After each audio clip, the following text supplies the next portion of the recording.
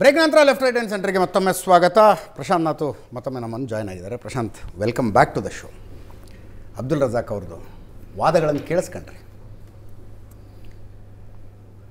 Uniform civil code ಇವತ್ತು ಕನ್ನಡ ಪ್ರಭಾದಲ್ಲಿ ಒಂದು article ಒಂದು ನ್ಯೂಸ್ ನೋಡಿದೆ. ಮುಸ್ಲಿಂ ಸಂಘಟನೆಗಳು ಬೆಂಬಲಿಸುವ ನಿರ್ ಅಂದರೆ ಪ್ರತಿಭಟಿಸದೇ ಇರುವ ನಿರ್ಧಾರಕ್ಕೆ ಬಂದಿದ್ದಾರೆ. ಯಾಕಂದರೆ ಪ್ರತಿಭಟನೆ ಮಾಡೋಕ್ಕೆ ಶುರು ಮಾಡಿದರೆ ಬಿ ಜೆ ಪಿ ಅವರು ಲಾಭ ಮಾಡ್ಕೊಂಡ್ಬಿಡ್ತಾರೆ ಹೌದು. ಬಂದರೆ ಬರಲಿ ಯೂನಿಫಾರ್ಮ್ ಸಿವಿಲ್ ಕೋಡ್ ಇಲ್ಲ ಬಂದರೆ ಬರಲಿ ಅಂತಲ್ಲ. ಓಕೆ ಅದು ಕಾನೂನಾತ್ಮಕವಾಗಿ ಏನು ಮಾಡಬೇಕು ಅದನ್ನ ಮಾಡೋಣ. ಇವಾಗ ಕರ್ನಾಟಕದಲ್ಲಿ ಟು ಬಿ ರಿಸರ್ವೇಷನ್ನ ಕ್ಯಾನ್ಸಲ್ ಮಾಡಿದ್ರು. ಓಕೆ ನಾವು ರೋಡ್ ಇಳಿದಿದ್ರೆ ಎಲೆಕ್ಷನ್ ಅಜೆಂಡಾನೇ ಚೇಂಜ್ ಆಗಿಬಿಟ್ಟಿರೋದು. ಅದಕ್ಕೋಸ್ಕರ ದಯವಿಟ್ಟು ಶಾಂತವಾಗಿರಿ. ಯಾವ ತರ ಸುಪ್ರೀಂ ಕೋರ್ಟಿಂದ ನಮಗೆ ಸ್ಟೇ ಸಿಕ್ಕೈತೆ ಟ್ವೆಂಟಿ ಸೆವೆನ್ ಜುಲೈಗೆ ನೆಕ್ಸ್ಟ್ ಇಯರಿಂಗ್ ಇದೆ ಆಗುತ್ತೆ ಮುಂದೆ? ಅದು ನೋಡೋಣ. ಇದೇ ತರ ಇವಾಗ ಬಿ ಜೆ ಪಿಗೆ ಬೇಕಾಗಿರೋದು ಏನು ಅಂದರೆ ಫಸ್ಟ್ ಆಫ್ ಆಲ್ ಬಿಜೆಪಿ ಜೆ ಪಿಗೆ ಚೆನ್ನಾಗಿ ಅರ್ಥ ಆಗಿದೆ. ಮುಂದಕ್ಕೆ ಸಂಪೂರ್ಣ ಬಹುಮತ ಸಿಗುತ್ತೋ ಇಲ್ವೋ ಅಂತ ಅವ್ರಿಗೆ ಗೊತ್ತಿಲ್ಲ. ಇವಾಗ ಟ್ವೆಂಟಿ ಫೋರ್ ಎಲೆಕ್ಷನ್ಸಲ್ಲಿ ಅಲ್ಲಿ ಇವಾಗ ಇರುವ ಪ್ರೈಸ್ ರೈಸು ಇವಾಗ ಅನ್ಎಂಪ್ಲಾಯ್ಮೆಂಟು ಇದೆಲ್ಲ ಜನ ಪ್ರಶ್ನೆ ಮಾಡೋಕ್ಕೆ ಶುರು ಮಾಡ್ತಾರೆ ಎಲೆಕ್ಷನ್ ರ್ಯಾಲೀಸಲ್ಲಿ ಅದಕ್ಕೂ ಮುಂಚೆ ಒಂದು ಡೈವರ್ಷನ್ ಟ್ಯಾಕ್ಟಿಕ್ ಏನು ಅಂತ ಹೇಳಿದ್ರೆ ಇವಾಗ ಡೆಲ್ಲಿ ಅಸೆಂಬ್ಲಿ ಎಲೆಕ್ಷನ್ಸ್ಗಿನ ಮುಂಚೆ C A N R C ಎಷ್ಟು ಒಬ್ಬರ ಇತ್ತಿತ್ತು ಏನಾಯಿತು C A N R C implement ಮಾಡಿಬಿಟ್ರಾ? ಅವಾಗ ಎಷ್ಟು ಮಾತುಗಳಾಯಿತು ಎಷ್ಟು ಚರ್ಚೆ ನಾವು ನೀವು ಮಾಡಿಲ್ಲ. ನಾನೇನು ಹೇಳ್ತಾ ಇದ್ದೀನಿ ಅದು ಎಲೆಕ್ಷನ್ಗಿನ ಮುಂಚೆ ಇದೊಂದು ಎಲೆಕ್ಷನ್ ಸ್ಟಂಟ್ ಅಂತ ಹೇಳೋಕ್ಕೆ ಇಷ್ಟಪಡ್ತೀನಿ. ಯಾಕಂದರೆ ಲಾ ಕಮಿಷನ್ ಸ್ವತಃ ಹೇಳಿದೆ ಇಲ್ಲ this is not desirable not necessary not the right time ಅಂತ. ಸುಪ್ರೀಂ ಕೋರ್ಟ್ ಮತ್ತೆ ಇಲ್ಲ ಇಲ್ಲ ಸುಪ್ರೀಂ ಕೋರ್ಟ್ ಎಷ್ಟೋ ಒಂದು ವಿಚಾರಗಳಲ್ಲಿ ಸುಪ್ರೀಂ ಕೋರ್ಟ್ ಇದನ್ನು ಮಾಡಬೇಕು ಒಳ್ಳೆಯದು ಅಂತ ಹೇಳಿದೆ.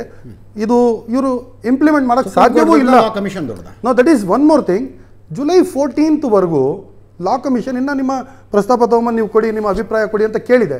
ಅದಕ್ಕೂ ಮುಂಚೆ ಇವರು ಮಧ್ಯಪ್ರದೇಶದಲ್ಲಿ ಹೋಗ್ಬಿಟ್ಟು ಮೇರೆ ಪಸ್ಮಾಂದ ಮುಸ್ಲಿಂ ಭಾಯ್ ಬೆಹನ್ ಅಂತ ಹೇಳ್ತಾರಲ್ಲ ಇದೊಂದು ನಾಟಕ ಅಂತ ಹೇಳಕ್ಕೆ ಇಷ್ಟಪಡ್ತೀನಿ Okay. ಯಾಕೆ ಅಂತ ಹೇಳಿದ್ರೆ ಇದು ಎಲೆಕ್ಷನ್ಗೋಸ್ಕರ ಯಾವುದೇ ಥರ ನೋಡಿ ಎಷ್ಟೊಂದನ್ನ ಇವ್ರು ತೊಗೊಂಬಂದ್ರು ಇವಾಗ ಅಲ್ಲಿ ನಿಂತ್ಕೊಂಡು ಹೇಳ್ತಾರೆ ಏ ಘರ್ ಮೇ दो दो नियम दो दो तो देश कैसे आगे बढ़ेगा ಅಂತ घर में ये कमरे में आग लगी है मणिपुर में सौ लोग मर गए हैं हजार गवर्नमेंट के राइफल्स लेके भाग गए हैं इसके बारे में मोदी जी को चिंता नहीं पड़ी है ಉರಿತಾ ಇದೆ ಮಣಿಪುರ್. ಅಲ್ಲೇನು ಹೋಗ್ಬಿಟ್ಟು ಅದರಲ್ಲಿ ಒಂದು ಸ್ವಲ್ಪ ಅವ್ರಿಗೊಂದು ಸ್ವಲ್ಪನೂ ಇದ್ದಿಲ್ವಾ ಮನ್ಸಲ್ಲಿ? ಒಂದು. ಅದಾದ ನಂತರ ಅರುಣಾಚಲ್ ಪ್ರದೇಶದಲ್ಲಿ ಯಾಕೆ ಮಾತಾಡ್ತಾರೆ? ಕೇಳಿ ಕೇಳಿ ಕೇಳಿ ಕೇಳಿ. ಅರುಣಾಚಲ್ ಪ್ರದೇಶದಲ್ಲಿ ಚೈನಾ ಬಂದು? ಕೂತೈತೆ. ಟೈಮ್ನಲ್ಲಿ ಸ್ಯಾಟಲೈಟ್ ಯಾಕೆ ಹಾರಿಸ್ಬೇಕು? ಅರುಣಾಚಲ್ ಪ್ರದೇಶದಲ್ಲಿ ಚೈನಾ ಬಂದು ಕೂತೈತೆ.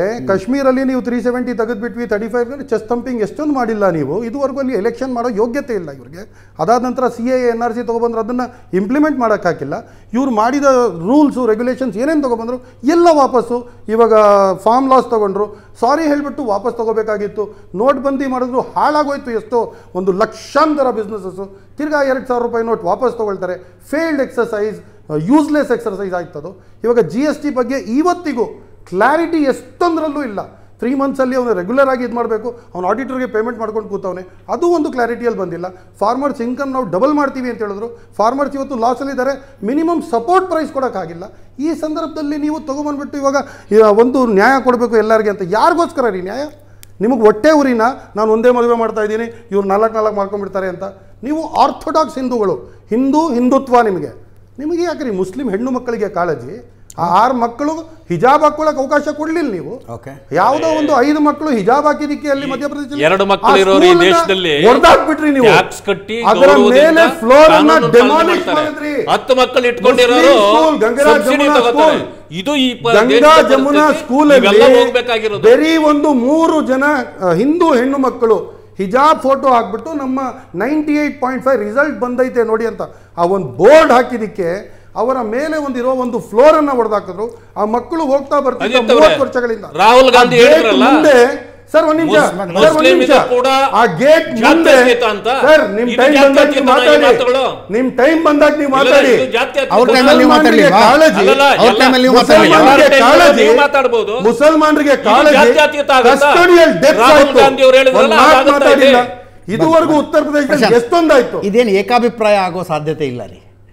ಎಲ್ಲರೂ ಸೇರ್ಕೊಂಡು ಒಂದು ನಿರ್ಧಾರಕ್ಕೆ ಬಂದು ಯೂನಿಫಾರ್ಮ್ ಸಿವಿಲ್ ಕೋಡ್ ತರ್ತಾರೆ ಹಂಗಿಲ್ಲ ಇದು ಯಾಕೆ ಬೇಕು ನಮಗೆ ಅರೆ ಅರೆ ಯಾಕ್ ಬೇಕು? ಯಾಕೆ ಬೇಕು ಏನೇನು ಬೇಕಾಗಿತ್ತು ಇದು ಅರೆ ಸಂವಿಧಾನ ಅವಕಾಶ ಕೊಟ್ಟಿದೆ ಅಲ್ವಾ ಯಾವ್ದಕ್ಕೆ ಅವಕಾಶ ಕೊಟ್ಟಿದೆ? ಸಂವಿಧಾನ ಹೇಳಿಲ್ವಾ? ಇವಾಗ ನಿಮ್ದ್ರಲ್ಲೂ ಇದೆ ಅಲ್ವಾ ಏನಿದೆ? ಉತ್ತರ ಪ್ರದೇಶದಲ್ಲಿ ಹೆಣ್ಣು ಮಕ್ಕಳಿಗೆ ನೀವು ಕಿತ್ತಾಕ್ರಿ ಅದನ್ನ? ಕಿತ್ತಾಕ್ರಿ. ಅದನ್ನ. ಯೂನಿಫಾರ್ಮ್ ಸಿವಿಲ್ ಕೋಡ್ ಬಂದ್ರೆ ಆಗಿತ್ತಲ್ಲ ಅವರ ಪರಿಸ್ಥಿತಿ ಯೂನಿಫಾರ್ಮ್ ಸಿವಿಲ್ ಕೋಡ್ ಬಂದ್ರೆ ಆಗಿತ್ತಲ್ಲ ಗೋವಾದಲ್ಲಿ ಕೋಡ್ ಇದೆ. ಮೊದಲು ನೀವು ಬ್ಲೂ ಪ್ರಿಂಟ್ ತಗೊಂಡ್ಬಂದು ಆಮೇಲೆ ಚರ್ಚೆ ಮಾಡಿ ಆಮೇಲೆ ಎಲೆಕ್ಷನ್ ರ್ಯಾಲಿಯಲ್ಲಿ ಮಾತಾಡಿ. ಸುಮ್ಮನೆ ಹುಳ ಬಿಟ್ಬಿಟ್ಟು ಪಾರಿವಾಳಗಳ ಮಧ್ಯ ಒಂದು ಬೆಕ್ಕನ್ನ ಬಿಟ್ಬಿಟ್ಟು ಅಬ್ಬರ ಎತ್ಬಿಟ್ಟು ಅದರಿಂದ ಪ್ರಾಫಿಟ್ ತಗೊಳ್ಳೋಕ್ಕೋಸ್ಕರ ನೀವು ಈ. ನೀಚ ಪ್ರಶಾಂತ್ ಇದೇನು ಏಕಾಭಿಪ್ರಾಯ ಮೂಡುವ ಸಾಧ್ಯತೆಗಳೇನು ಕಾಣಿಸ್ತಿಲ್ಲ? ಅದಿದೆ ಏಕಾಭಿಪ್ರಾಯ ಮೂಡೋದಿದ್ರೆ ಸಾವಿರದ ಒಂಬೈನೂರ ನಲವತ್ತೇಳರಲ್ಲೇ ಜಾರಿ ಕಾನ್ಸ್ಟಿಟ್ಯೂಂಟ್ ಅಸೆಂಬ್ಲಿಯಲ್ಲೇ. ಅಂದರೆ ದೇಶ ವಿಭಜನೆಯ ನಂತರವೂ ಕೂಡ ಏಕಾಭಿಪ್ರಾಯ ಮೂಡಲಿಲ್ಲ. ಆ ಕಾರಣದಿಂದಲೇ ಇದು ಲಿಂಗರಿಂಗ್ ಆನ್ ಇದೆ. ಕರೆಕ್ಟ್ ಶಾವಾನೋ ಪ್ರಕರಣದಲ್ಲೂ ಕೂಡ ಅಪೀಸ್ಮೆಂಟ್ ಪಾಲಿಟಿಕ್ಸ್ ಇನ್ನೊಂದು ಹಂತಕ್ಕೆ ರಾಜೀವ್ ಗಾಂಧಿ ತೆಗೆದುಕೊಂಡು ಹೋದರು. ಆ ಕಾರಣದಿಂದ ನಾನಾ ರೀತಿಯ ಪೊಲಿಟಿಕಲ್ ಕಾನ್ಸಿಕ್ವೆನ್ಸ್ಗಳು ನಡೆದಿವೆ. ನನಗನ್ಸುತ್ತೆ ನೋಡಿ ಮೂರು ಆಯಾಮಗಳಲ್ಲಿ ಇದನ್ನು ನೋಡಬೇಕಾಗತ್ತೆ. ರಾಜಕೀಯವಾಗಿ. ಬಿ ಜೆ ಪಿ ಒಂದು ಎರಡು ಸಾವಿರದ ಇಪ್ಪತ್ನಾಲ್ಕರ ಚುನಾವಣೆಯ ಮೋಟಿವ್ ಇಟ್ಕೊಂಡು ತರ್ತಾ ಇದೆ. ಇದರಲ್ಲೇನು ಡೌಟ್ ಇಲ್ಲ. ಅದರಲ್ಲೇನು ದ್ವಂದ್ವ ಇಲ್ಲ. ಬಿ ಜೆ ಪಿಗೆ ಅನಿಸ್ತಾ ಇದೆ ಎರಡು ಸಾವಿರದ ಇಪ್ಪತ್ನಾಲ್ಕರ ಚುನಾವಣೆಯ ದೃಷ್ಟಿಯಿಂದ ಇನ್ಫಾರ್ಮ್ ಸಿವಿಲ್ ಕೋಡನ್ನು ನಾವು ತರುವ ಪ್ರಯತ್ನವನ್ನು ಮಾಡಿದಾಗ ಈಗ ನಟರಾಜ್ ಗೌಡ್ರು ಏನು ಸ್ಟ್ಯಾಂಡನ್ನು ನಿನ್ನೆ ಏನು ತೆಗೆದುಕೊಳ್ತಾ ಇದ್ದಾರೆ ಕಾಂಗ್ರೆಸ್ ಒಂದು ಸ್ಲಿಪರಿ ಗ್ರೌಂಡಲ್ಲಿ ಹೋಗುತ್ತೆ. ಹೌದು. ಜಾರ್ಖಂಡ್ ಪಾರ್ಟಿ ಆಗಿದೆ. ಒಂದು ಅಪೀಸ್ಮೆಂಟ್ ರಾಜಕಾರಣದ ಯಾಕಂದರೆ ಕಾಂಗ್ರೆಸ್ಗೂ ಕೂಡ ಇದು ಅನಿವಾರ್ಯ ಆಗುತ್ತೆ. ಒಂದು ಅಪೀಸ್ಮೆಂಟ್ ಈಗ ಅದು ಮುಸ್ಲಿಂ ಸಮುದಾಯ ಏನು ಮಾಡುತ್ತೆ? ಮುಸ್ಲಿಂ ಸಮುದಾಯ ಬಿ ಜೆ ಪಿಗೆ ಓಟ್ ಹಾಕಲ್ಲ. ಅದು ಅದು ಅದೊಂದು ಪ್ರತ್ಯೇಕ ಚರ್ಚೆ. ಆದರೆ ಕಾಂಗ್ರೆಸ್ ಒಂದು ಸ್ಲಿಪ್ರಿ ಅಪೀಸ್ಮೆಂಟ್ನ ಸ್ಲಿಪ್ರಿ ಗ್ರೌಂಡ್ನಲ್ಲಿ ಕಾಂಗ್ರೆಸ್ ತಂದು ತಾನೇ ಹೋಗುತ್ತೆ. ಅದು ಬಿ ಜೆ ಪಿಗೆ ಲಾಭ ಆಗ್ಬೋದು ಅಂತಕ್ಕಂಥದ್ದು ಬಿ ಜೆ ಪಿಯ ಲೆಕ್ಕಾಚಾರ ಪೊಲಿಟಿಕಲಿ ಲೀಗಲಿ ನನಗೇನು ಹರ್ಡಲ್ಸ್ಗಳಿವೆ ಇದರಲ್ಲಿ ಅಂತ ಅನ್ಸಲ್ಲ. ಯಾಕಂದರೆ ಸುಪ್ರೀಂ ಕೋರ್ಟ್ ಅನೇಕ ಪ್ರಕರಣಗಳಲ್ಲಿ ಹೇಳಿದೆ. ಸುಪ್ರೀಂ ಕೋರ್ಟ್ ಸ್ಪಷ್ಟವಾಗಿ ಹೇಳಿದೆ ಮತ್ತು ಕಾನ್ಸ್ಟಿಟ್ಯೂಷನ್ನಲ್ಲೂ ಕೂಡ ಡೈರೆಕ್ಟಿವ್ ಪ್ರಿನ್ಸಿಪಲ್ಸ್ನಲ್ಲಿ ಸೇರಿಸುವಾಗ ಟೈಮ್ ಆಗ ರೈಪ್ ಇರಲಿಲ್ಲ, ಆದರೆ ಸರ್ಕಾರಕ್ಕೆ ಇದನ್ನು ಡೈರೆಕ್ಟಿವ್ ಪ್ರಿನ್ಸಿಪಲ್ಸ್ ರೂಪದಲ್ಲಿ ಕೊಟ್ಟಿದೆ. ಸರ್ಕಾರದ ಜವಾಬ್ದಾರಿ ತರಬೇಕು ಅಂತಕ್ಕಂಥದ್ದು. ಹಾಗಾಗಿ ಲೀಗಲ್ ನನಗೇನೋ ಹರ್ಡಲ್ಸ್ ಇವೆ ಅಂತ ಅನ್ನಿಸ್ತಾ ಇಲ್ಲ. ಸೋಷಿಯಲಿ ಏನಾಗುತ್ತೆ ಅಂತಕ್ಕಂಥದ್ದು ಬಹಳ ಮುಖ್ಯ. ಏಕರೂಪ ನಾಗರಿಕ ಸಂಹಿತೆ ತರುವ ಉದ್ದೇಶ ನ್ಯಾಷನಲ್ ಇಂಟಿಗ್ರೇಷನ್ ಸೋಷಿಯಲ್ ಇಂಟಿಗ್ರೇಷನ್ ಅಂತಕ್ಕಂಥದ್ದನ್ನು ಹೇಳಿದರೂ ಕೂಡ ಅದನ್ನು ಸಮುದಾಯಗಳು ಹೇಗೆ ತೆಗೆದುಕೊಳ್ತವೆ? ಈಗ ಶಾಬಾನೋ ಪ್ರಕರಣದಲ್ಲಿ. ಸಮುದಾಯ ಅನ್ನೋಕ್ಕಿಂತ ಸಮುದಾಯವನ್ನು ನಾವು ರಿಪ್ರೆಸೆಂಟ್ ಮಾಡ್ತೀವಿ ಅನ್ನೋ ಹೇಳುವ ಜನ, ಈಗ Abdul Razak ಥರದಂಥವ್ರು is a highly educated is a highly read ಆದರೆ ಈ ಈ, ಈ- ವಾದ ಬಂದಾಗ ಮಾತ್ರ ಅವರು ಯಾವುದೋ ಒಂದು ಹನ್ನೆರಡನೇ, ಹದಿಮೂರನೇ ಶತಮಾನದಲ್ಲಿ, ಏಳನೇ ಶತಮಾನದಲ್ಲಿ ಜೀವಿಸೋ ಥರ ತಮ್ಮ ವಾದವನ್ನು ಅಬ್ದುಲ್ ರಜಾಕ್ ಥರದವರು ಮಂಡಿಸ್ತಾ ಇರ್ತಾರೆ. ಆ ಕಾರಣದಿಂದ ಸೋಷಿಯಲಿ ಮುಸ್ಲಿಂ ಸಮುದಾಯದಲ್ಲಿ ರಿಫಾರ್ಮ್ಸ್ ಬೇಕು ಅಂತಕ್ಕಂಥವ್ರು, ಮುಸ್ಲಿಂ ಸಮುದಾಯದ ಒಂದು ಸಮಸ್ಯೆ ನನಗನ್ನಿಸುವ ಪ್ರಕಾರ, ಅದು ಹಿಂದೂ ಸಮ, ಸಮಾಜದಲ್ಲೂ ಮೊದಲಿತ್ತು. ಆದರೆ ಕಾಲಾಂತರದಲ್ಲಿ ನಾವು ರಿಫಾರ್ಮ್ಸ್ಗಳನ್ನು ತರಬೇಕು, ಸುಧಾರಣೆಗಳನ್ನು ತರಬೇಕು, ಕಾನೂನು ಮೂಲಕವಾಗಿ ತರಬೇಕು ಅಂತಕ್ಕಂಥದ್ದನ್ನು ಹೊರಟಾಗ ಸಮಾಜ ಹಂತ ಹಂತವಾಗಿ ಬದಲಾಗ್ತಾ ಹೋಯಿತು. ಮುಸ್ಲಿಂ ಸಮುದಾಯದಲ್ಲಿ ಎಜುಕೇಟೆಡ್ ಮುಸಲ್ಮಾನರೇನಿದ್ದಾರೆ ಅವರು ಮಾತನಾಡಲ್ಲ. ರಿಫಾರ್ಮ್ಸ್ಗಳ ಪರವಾಗಿ ಮಹಿಳೆಯರು ಎಜುಕೇಟೆಡ್ ಮಹಿಳೆಯರು ಮಾತನಾಡಲ್ಲ. ಆ ಕಾರಣದಿಂದ ಅಲ್ಲಿ ಮೌಲ್ವಿಗಳು ಇನ್ನೂ ಕೆಲವರು ಇಲ್ಲ ಈ ಸಮಾಜವನ್ನು ಗುತ್ತಿಗೆ ತೆಗೆದುಕೊಂಡಿದ್ದೀವಿ ಅಂತ ಥರ ಮಾತನಾಡುವವರು ಇಲ್ಲ ಏಕರೂಪ ನಾಗರಿಕ ನನಗೆ ನನ್ನ ಪ್ರಶ್ನೆಗೊಂದು ಉತ್ತರ ಕೊಡಿ. ಇಡೀ ವಿಶ್ವದಲ್ಲಿ ಎಲ್ಲಿ ನಿಮಗೆ ಈ ರೀತಿಯಾಗಿರ್ತಕ್ಕಂಥ ಪರ್ಸ್ನಲ್ ಲಾಸ್ಗಳು ಪ್ರತ್ಯೇಕವಾಗಿವೆ? ಮುಸ್ ಈಗ ಮುಸ್ಲಿಂ ಕಂಟ್ರೀಸ್ ತೆಗೆದುಕೊಳ್ಳಿ. ಅಲ್ಲಿ ಮುಸ್ಲಿಂ ಲಾಗಳು ಹೌದು. ಎಲ್ಲ ಎಲ್ಲದರ ಮೇಲೆ ಅದರ ಅಧಿಪತ್ಯ ಇರುತ್ತೆ. ಪಾಶ್ಚಿಮ ಈಗ ಫ್ರಾನ್ಸ್ ನಮಗೆ ಲಿಬರಲ್ ಫ್ರಾಟರ್ನಿಟಿ ಫ್ರೀಡಮ್ಗೆ ನಮಗೊಂದು ರೋಲ್ ಮಾಡೆಲ್ ಅಂತ ನಾವು ನಾವು ತೆಗೆದುಕೊಳ್ತೀವಿ. ಕರೆಕ್ಟ್ ಹದಿನೇಳುನೂರ ತೊಂಬತ್ತರಲ್ಲಿ ಡೈವರ್ಸ್ಗಳ ಡೈವರ್ಸ್ ಬಗ್ಗೆ ಹೋರಾಟ ನಡೆದಿತ್ತು ರೀ ನಾವು ಇವತ್ತು ಎರಡು ಸಾವಿರದ ಇಪ್ಪತ್ತ್ಮೂರರಲ್ಲೂ ಕೂಡ ನಮಗೆ ಬೇಡ ಅಂತಕ್ಕಂಥ ಸ್ಟ್ಯಾಂಡನ್ನು ತೆಗೆದುಕೊಳ್ತೇವೆ ಪಾಶ್ಚಿಮಾತ್ಯ ರಾಷ್ಟ್ರಗಳಲ್ಲಿದೆ. ಕಮ್ಯುನಿಸ್ಟ್ ರಾಷ್ಟ್ರಗಳನ್ನು ತೆಗೆದುಕೊಳ್ಳಿ. ಕಮ್ಯುನಿಸ್ಟ್ ರಾಷ್ಟ್ರಗಳು ಈಗೇನು ಕಾಂಗ್ರೆಸ್ ಸ್ಟ್ಯಾಂಡನ್ನು ತೆಗೆದುಕೊಳ್ಳುತ್ತಲ್ಲ? ಇದನ್ನು ಒಪ್ತದ?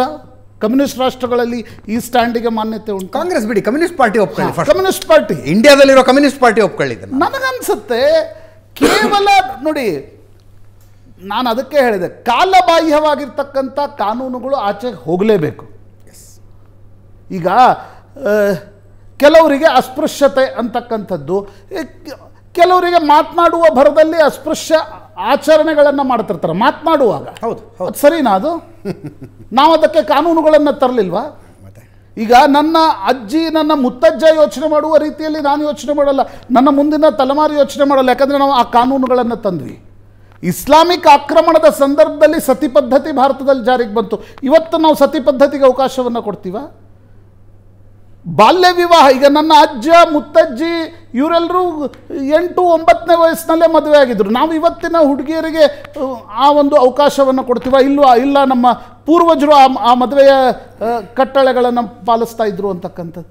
ನೋಡಿ, ನಿಮ್ಮ ಇಬಾದತ್ತೇನಿದೆ? ನೀವು ಪ್ರಾರ್ಥನೆ ಮಾಡ್ತಕ್ಕಂಥ ವಿಧಾನಗಳ ಡೈವರ್ಸಿಟಿ ನಿಶ್ಚಿತವಾಗಿ ಯಾವುದೇ ಪ್ರಜಾಪ್ರಭುತ್ವ ರಾಷ್ಟ್ರದಲ್ಲಿ ಅಥವಾ ಇವತ್ತು ಇಸ್ಲಾಮಿಕ್ ಕಂಟ್ರೀಸ್ಗಳಲ್ಲೂ ಕೂಡ ಹಿಂದೂ ಮಂದಿರಗಳು ಬರ್ತಾ ಇವೆ. ಅದು ಮುಂದುವರೆದೇ ಬರೆಯುತ್ತೆ ಅದಕ್ಕೂ ಇದಕ್ಕೂ ಸಂಬಂಧವಿಲ್ಲ ಅಂತಕ್ಕಂಥದ್ದನ್ನು ಮುಸ್ಲಿಂ ಸಮಾಜ ಕೂಡ ಅರ್ಥ ಮಾಡಿಕೊಳ್ತಕ್ಕಂಥ ಪರಿಸ್ಥಿತಿ ಇವತ್ತಿಗೆ ಬಂದಿದೆ. ಸರ್ ಅರ್ಥ ಅಲ್ಲಿದ್ದ ಒಳ್ಳೆಯದನ್ನ ಇಲ್ಲಿ ತೆಗೆದುಕೊಳ್ಬೇಕು ಇಲ್ಲಿ ಒಳ್ಳೆಯದನ್ನ ಅಲ್ಲಿ ತೆಗೆದು Sir,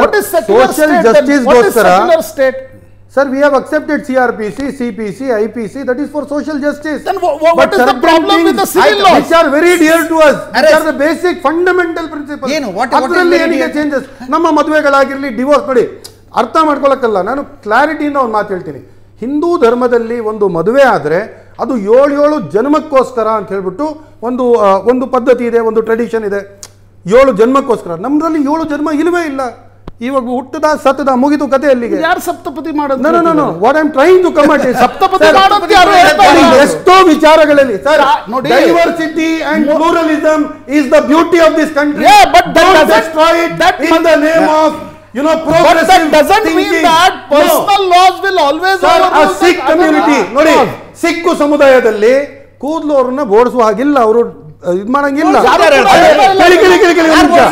ಅವರು ಹೆಲ್ಮೆಟ್ ಹಾಕಂಗಿಲ್ಲ ಪರವಾಗಿಲ್ಲ ಅಂತ ಅಕ್ಸೆಪ್ಟ್ ಮಾಡಿದೀವಿ. ಅವರು ಚಾಕು ಇಟ್ಕೊಂಡು ಓಡಾಡ್ತಾರೆ. ಪರವಾಗಿಲ್ಲ ಅಂತ ನಾವು ಅಕ್ಸೆಪ್ಟ್ ಮಾಡಿದ್ವಿ. ಅದು ಅವರ ಧರ್ಮ. ಅದು ಅವರ ಧರ್ಮ. ಅದೇ ಒಂದು ಬ್ರಾಹ್ಮಿನ್ ತಲೆಯನ್ನು ಬೋಡಿಸ್ಕೊಂಡು ಹೋಗ್ತಾರೆ. ಅದು ಅವರ ಧರ್ಮ. ಡೈವರ್ಸಿಟಿ ಆ ಯಾರು ಧಕ್ಕೆ ತರ್ತಾರೆ? ನೀವು ಇವತ್ತು ರಿಸರ್ವೇಶನ್ ಆ- ಡೈವರ್ಸಿಟಿಗೆ diversity ಗೆ ಯಾರು ಧಕ್ಕೆ ತರ್ತಾರೆ? ಇವತ್ತು ರಿಸರ್ವೇಶನ್ ಕೊಡ್ತಿದ್ದೀರಾ? ಒಂದು ದಲಿತ ಸಮಾಜಕ್ಕೆ. ಇಲ್ಲ ಇವ್ರು ಮೇಲ್ ಬರಬೇಕು ಅಂತ. ಎಲ್ಲರೂ ಒಗ್ಗಟ್ಟಾಗಿರ್ಬೇಕು. ಒಂದೇ ಕಾರಣ ಒಂದೇ ಕಾನೂನು ಅಂತ ಹೇಳಿದ್ರೆ ರಿಸರ್ವೇಶನ್ ತಗೊಳಕಾಗುತ್ತಾ ಎಲ್ಲಾ ವಿಚಾರಗಳಲ್ಲಿ ನನ್ನ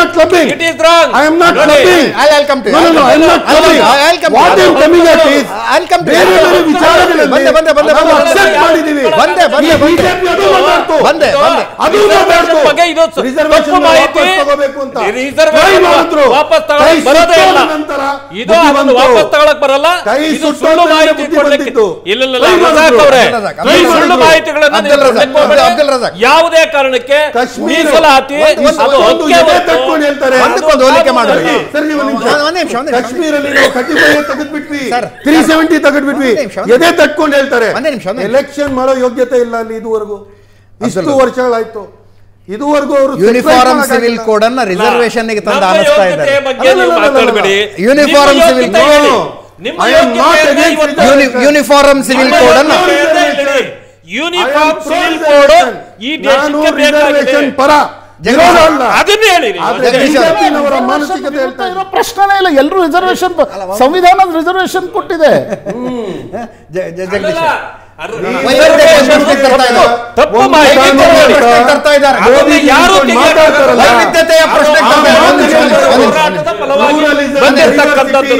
ದೇಶದಲ್ಲಿ ಇರಬೇಕು. ಒಂದೇ ನಿಮಿಷ ಒಂದೇ ನಿಮಿಷ. ಜಗತ್ತಿನ ಮಾನವೀಯ ಮೌಲ್ಯಗಳು ದಿನದಿಂದ ದಿನಕ್ಕೆ ವರ್ಷದಿಂದ ವರ್ಷಕ್ಕೆ ಹೊಸ ಹೊಸ ಸ್ವರೂಪಗಳನ್ನು ತೆಗೆದುಕೊಳ್ತಾ ಇರುವ ಸಂದರ್ಭದಲ್ಲಿ ಯಾವುದೋ ಶತಮಾನದ ಕಾನೂನುಗಳ ಪ್ರಕಾರ ದೇಶ ನಡೆಯೋದಕ್ಕಾಗೋದಿಲ್ಲ ಅನ್ನೋದು ಬೇಸಿಕ್ ಪ್ರಿನ್ಸಿಪಲ್ ಯಾವುದೋ ಶತಮಾನದಲ್ಲಿ ಯಾರೋ ಬರೆದಿಟ್ಟಿದ್ರ ಬಗ್ಗೆ ಅದರ ಅದ್ರ ಮೇಲೆ ನಡೆಯೋದಕ್ಕೆ ಸಾಧ್ಯ ಇಲ್ಲ ಅನ್ನೋದು ಬೇಸಿಕ್ ಪ್ರಿನ್ಸಿಪಲ್ಲು ಇದನ್ನು ವೈವಿಧ್ಯತೆಗೆ ತಂದು ಆನಿಸಬೇಡಿ. ವೈವಿಧ್ಯತೆಗೆ ತಂದು ಆನಿಸಬೇಡಿ. ಒಂದು ನಿಮಿಷ ಒಂದು ನಿಮಿಷ ಒಂದು ನಿಮಿಷ. ಹಿಂದೂ ಇನ್ಹೆರಿಟೆನ್ಸ್ ಆಕ್ಟ್ ಬಂತಲ್ಲ? ಸರ್ ಮಂಗಳೂರು ಕಡೆ ಸ್ತ್ರೀ ಆಸ್ತಿ ಸರ್ ಮಕ್ಕಳಿಗೆ ಬಿಲ್ಲವರಲ್ಲಿ ಬಿಲ್ಲವ ಸಮುದಾಯದಲ್ಲಿ? ಯಾರು ಕೇಳಿದ್ರು ಅವ್ರನ್ನ? ನಿಮ್ಮ ಆಚರಣೆ ಹೆಂಗಿದೆ ನಿಮ್ಮ ಪದ್ಧತಿ ಹೆಂಗಿದೆ? ನೈನ್ಟೀನ್ ಫಿಫ್ಟಿ ಸಿಕ್ಸಲ್ಲಿ ತಂದುಬಿಟ್ರಿ ಒಂದೇ ಸಲಕ್ಕೆ. ಕೇಳಿದ್ರು ಅವ್ರಿಗೆ ಯಾರು ವೈವಿಧ್ಯತೆ ಸತ್ತೋಗ್ಬಿಡುತ್ತೆ ಅಂದ್ರ? ಬದಲಾವಣೆ ಆಗ್ಬೇಕಾಗಿದೆ ಅದು. ಹಾ? ಈಗ ಕರೆಕ್ಟ್ ಏನ್ ತಪ್ಪಿತ್ತು ಅದರಲ್ಲಿ? ಅದು ಪ್ರಗತಿಪರ ಹೌದು ಅಲ್ವಾ ಹೇಳಿ? ಖಂಡಿತ ಪ್ರಗತಿಪರ. ಆಸ್ತಿ ಹೆಣ್ಣು ಮಗಳಿಗೆ ಹೋಗುತ್ತೆ. ಇವನು ಅಳಿಯಾದವನು ಹೋಗಿ ಹೆಂಡತಿ ಮನೇಲಿ ಇರ್ತಾನೆ. ಪ್ರಗತಿಪರವಾದಂಥದ್ದು ಹೌದು ಅಲ್ವೋ ಸ್ತ್ರೀ ಪರವಾದಂಥದ್ದು ಹೌದು ಅಲ್ವೋ ಹಿಂದೆ ಮುಂದೆ ಯೋಚನೆ ಮಾಡಿದೆ.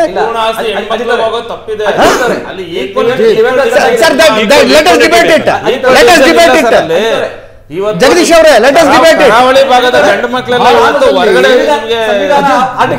ಸ್ವತಂತ್ರ ಬಂದ ನಂತರ ನಾವು ಜಮೀನು ಅಬಾಲಿಷ್ ಮಾಡಿ. ಭೂಮಿಯನ್ನ ಹಂಚಿದ್ವಿ. ಹೌದು.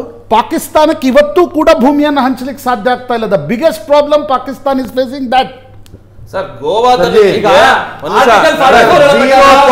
zero three percent of the community is Meitei community ಈಗ ಬರೀ ರಿಸರ್ವೇಶನ್ ಕೊಟ್ಟಿದ್ದಕ್ಕೆ ನಾವು ಒಂದು ತಿಂಗಳಾಯ್ತು.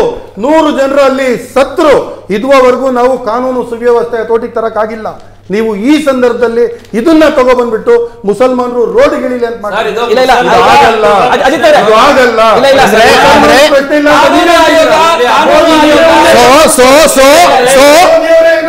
ಒಂದೇ ನಿಮಿಷ ಒಂದೇ ನಿಮಿಷ ಒಂದೇ ನಿಮಿಷ. ಅಬ್ದುಲ್ ರಜಾಕ್ ಏನ್ ನೀವು ಹೇಳೋದು? ಏನ್ ಹೇಳೋದು ನೀವು? ಒಂದೇ ನಿಮಿಷ ಒಂದೇ ನಿಮಿಷ.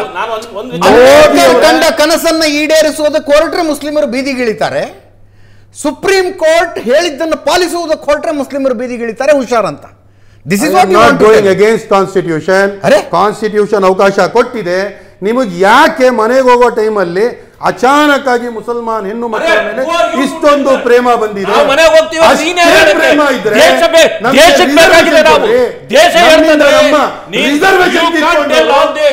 ಬಂದ್ಬಿಟ್ಟು ಬೇರೆ ಮುಸ್ಲಿಂ ಭಾಯಿ this? ನಾಟಕ ದೇಶ ಇದುವರೆಗೂ ಮಾತಾಡಿಲ್ಲ. ಎಂಬತ್ತೇಳು ಪಸ್ಮಾಂದ ಮುಸಲ್ಮಾನರನ್ನ ಕೊಂದಾಕಿದ್ರಿ ಗೋ ಹತ್ಯೆ ನಿಷೇಧ ಅಂತ ಹೇಳ್ಬಿಟ್ಟು ಅವರು ಟ್ರಾನ್ಸ್ಪೋರ್ಟ್ ಮಾಡ್ತಿದ್ರು ಅದು ಮಾಡ್ತಿದ್ರು. ಮಾಬ್ ಲಿಂಚಿಂಗ್ ಅಲ್ಲಿ ಎಂಬತ್ತೇಳು ಜನ ಖುರೇಶ್ ಖಾನ್ದಾನಿಂದ ಬರ್ತಾರೆ. ಅದು ಒಂದು ಸಣ್ಣ. ಸಣ್ಣ ಬ್ರೇಕ್ನ ಸಮಯ ಒಂದು ಸಣ್ಣ ಬ್ರೇಕ್ ತಗೊಂಡು ವಾಪಸ್